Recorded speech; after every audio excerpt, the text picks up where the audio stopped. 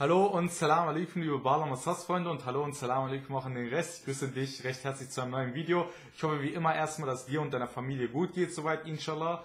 Äh, wenn ja, dann freut es mich natürlich. Ähm, ja, nach etwas längerer Zeit mal wieder ein Video zum Thema SAS. Äh, genau. Und ähm, ja, worum geht es in diesem Video? Ähm, erstmal, bevor ich über, auf das eigentliche Thema komme, wollte ich noch eine Sache loswerden. In meinen Livestreams, das hast du sicherlich selber bemerkt, wenn du mal dabei wärst, äh, achte ich schon darauf, dass eine lockere Stimmung herrscht. Und es herrscht auch grundsätzlich immer eine lockere Stimmung. Und ähm, falls ich mal in dieser lockeren Stimmung etwas Falsches sagen sollte, ja, ähm, und du es falsch verstehen solltest, dann bitte ich das natürlich zu entschuldigen. Ich äh, gucke immer, dass ich sehr auf meine Wortwahl achte, dass ich meine Worte weise, richtig wähle. Ähm, egal, ob das in den Videos ist, die ich mache oder auch in den Streams halt. Ähm, genau, weil es kann ja sein, dass der ein oder andere mal was falsch aufnimmt und das ist nie meine Absicht, um Gottes Willen. Ähm, also nur, dass du da Bescheid weißt. So. Und wenn das mir mal passieren sollte, dann ist es natürlich keine Absicht, dann kannst du mich jederzeit darauf hinweisen und ähm, genau, dann äh, ja, biege ich das, ich das auf jeden Fall ja zurecht. Äh, genau. Ja, worum geht es in diesem heutigen Thema? Ähm, also in diesem heutigen Video? Ähm, ja, ähm, eine Frage, die ich oft gestellt bekomme, ist halt, äh, ob man sich SAS selber beibringen kann. Natürlich kann man das machen, ja. Äh, ich habe es ja auch selber beigebracht, äh, mir selber beigebracht, quasi sozusagen. Und äh, viele machen das. Ähm, jetzt gibt es ein Problem, ähm, vor allem wenn du es dir selber beibringst. Ähm, und vielleicht äh, kennen das einige, ich kenne es auf jeden Fall. Ähm, es ist jetzt so, dass ich, äh, ich seit mehreren Jahren äh, Balama spiele und ähm, natürlich, wenn ich das jetzt vergleiche äh, mit dem ersten Monat und mit heute, ist es natürlich, liegen da natürlich mehrere Welten dazwischen. Das ist ja selbsterklärend. Aber ähm, diese Sache, die ich könnte heute, das habe ich auch in vielen Videos erwähnt, ein viel besserer Spieler sein, wenn ich viel mehr trainieren würde, äh, viel mehr üben würde, so quasi, ja. Weißt du, ähm, das Problem ist einfach, dass Natürlich, wenn du dir selber beibringst und äh, du machst jeden Tag gewisse Übungen und so, ähm, dann siehst du natürlich auch Fortschritte mit der Zeit, natürlich, klar. Und ähm, ist ja völlig selbstverständlich. Ähm, nur die Sache ist halt die, dass du irgendwann an einem Punkt angekommen bist, also quasi, sagen wir mal, du kannst jetzt einigermaßen Lieder spielen, ja. Du kannst jetzt äh, Lieder spielen, die du spielen wolltest, du freust dich, du denkst dir, ja, boah, es funktioniert, ich kann jetzt einigermaßen geradeaus spielen dass man sich dann irgendwann auf diesen Erfolg einfach ausruht, quasi, sag ich mal, ja. Ähm, dass du einfach äh, sagst, okay, ich kann jetzt Lieder spielen und dann versuchst du nur noch Lieder zu spielen, Lieder zu spielen und auch wenn du es dann vom Gehör kannst, so, du brauchst keine Noten mehr, ähm, dann freust du dich natürlich umso mehr, dann äh, sagst du, boah gut, ich kann jetzt Lieder spielen, die ich will, ich brauche sie nur zu hören, ähm, dass man dann dadurch ähm, quasi das Training, sag ich mal, vernachlässigt, ja, die regelmäßigen Übungen, die man tun sollte auf jeden Fall. Ähm, das ist einfach das Problem so. Weil, ähm, ich sag mal so, egal ob du spielen kannst oder nicht, wenn du nicht spielen kannst, dann sowieso, aber auch wenn du spielen kannst, darfst du nie regelmäßige Fingerübungen vernachlässigen.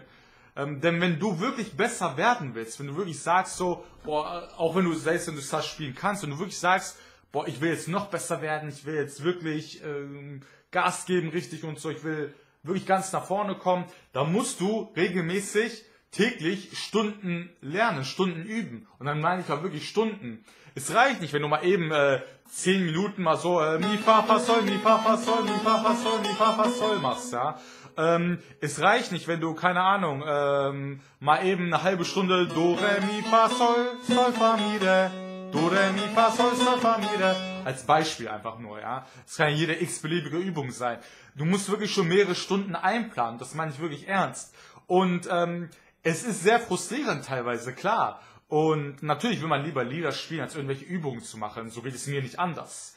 Ähm, nur, ähm, wenn du wirklich weiter vorankommen willst, dann sind diese Übungen Pflicht, so. Denn deine Finger werden nur schneller, indem du regelmäßig gewisse Übungen machst, so.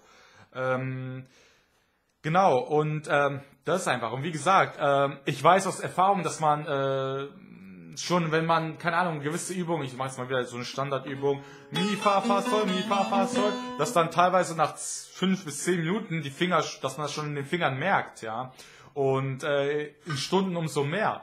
Und nur, ähm, wie gesagt, das musst du in Kauf nehmen, wenn du dir wirklich sagst, ich möchte weiter vorankommen. Ähm, weil irgendwann, wie gesagt, wenn du es dir selber beibringst, wenn du es einigermaßen kannst, kommt es einfach dann zu dem Punkt, ähm, wo du einfach keine großen Unterschiede mehr merkst, weil ähm, es ist jetzt schwierig zu erklären, ich versuche es mal zu erklären, so ich hoffe, du verstehst, was ich meine, weil du irgendwann das äh, Problem hast, so, ähm, also wenn du jetzt anfängst, heute hast du spielen als Beispiel, ja, dann kannst du es natürlich nicht, ähm, und du machst aber dann regelmäßig Übungen und nach einem Monat merkst du schon als Beispiel, hey, das sind Fortschritte so.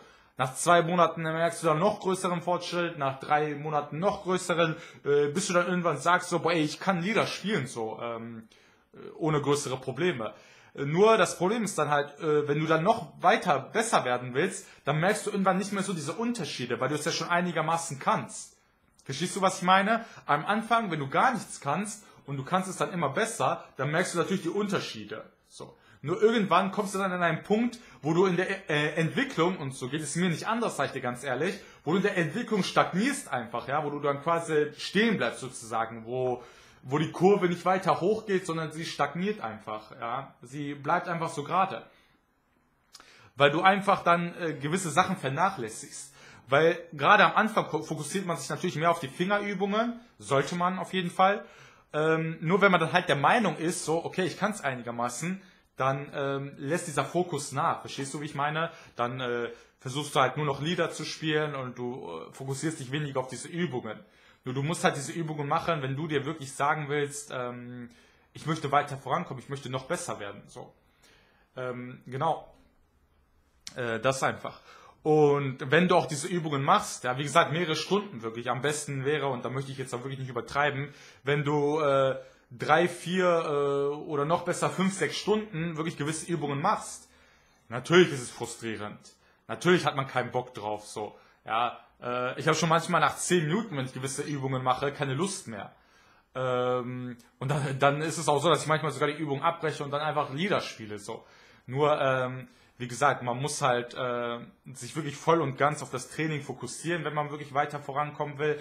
Und das ist ja auch äh, ich sag mal, ist es vielleicht nicht das beste Beispiel, aber im Profisport ist es ja auch nicht wirklich anders. Fußballer trainieren ja auch jeden Tag. Sie trainieren ja auch Stunden, bevor es in ein Spiel geht. Sie sagen sich ja nicht, okay, ich, wir können Fußball spielen, so, warum sollen wir noch trainieren? So, ja, ähm, denn Fortschritt erreichen wir nur durch Training, ja, durch Entwicklung. Und wir entwickeln uns halt nur weiter, wenn wir trainieren, wenn wir regelmäßig üben.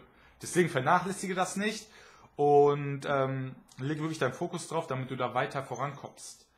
Ähm, genau, das einfach nur so als Tipp von mir. Und äh, darum sollte es auch in diesem Video gehen halt. Richtig, morgen werde ich dann inshallah äh, ein anderes Video machen äh, über die SAS. Ähm, genau.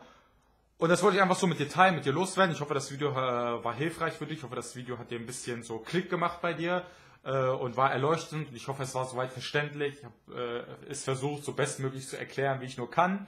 Genau. Und vielleicht hätte ich doch das Licht anmachen sollen. Es ist ein bisschen dunkel, aber ja, du konntest mich ja soweit erkennen. Und äh, das ist das Wichtigste. Aber ich bitte natürlich trotzdem, äh, die Lichtverhältnisse zu entschuldigen. Ähm, genau. Ja, will ich noch was erzählen? Ähm, nicht, dass ich wüsste. Vielleicht. Ah ja, genau. Heute ist übrigens äh, der 3. März, also ähm, Mittwoch, der 3. März 2021. Und heute ist der 68. Äh, Todestag, äh, beziehungsweise heute, ja doch, heute ist der, na heute wäre Müslüm Gürses, ja, 68 Jahre alt geworden, bekannter Sänger in der Türkei. Ähm, sein achter, äh, sein achtes, sein achtes Todesjahr, ja, äh, also so acht Jahre, heute genau acht Jahre her, dass er gestorben ist. In dem Sinne, Allah Ram, rahmet eylesin, mekanı cennet olsun. Und äh, genau, sehr bekannter Gew Sänger gewesen, Müslüm Gürses und äh, Saigela anıyorum an dieser Stelle. Genau, äh, das wollte ich noch loswerden und ansonsten äh, eigentlich nichts mehr soweit. Äh, ich wünsche dir noch einen schönen Abend, einen schönen Tag, äh, wann du gerade dieses Video auch immer siehst. Und äh, wünsche dir soweit alles Gute, alles Liebe. Bleib gesund und möge deine Familie auch inshallah gesund bleiben. Bleib auf dem geraden Weg. Bleib vernünftig, vernünftig für dich selbst. Bleib, wenn möglich, musikalisch. Und ja, ich wünsche dir nur das Beste vom Herzen, immer bei allem, was du tust. Bis zum nächsten Livestream oder nächsten Video. Dein Baran.